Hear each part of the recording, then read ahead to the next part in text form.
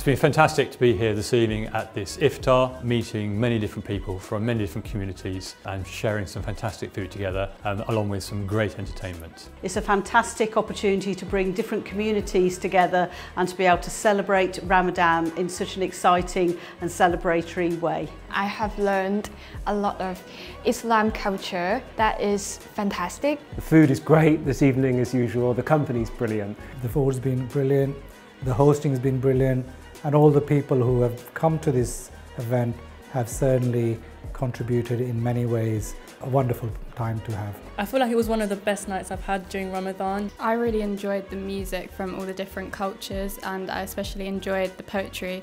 I felt it was very moving to me. It's such a pleasure to be here with a whole group of people of all faiths, no faiths, all races, all cultures, all beliefs.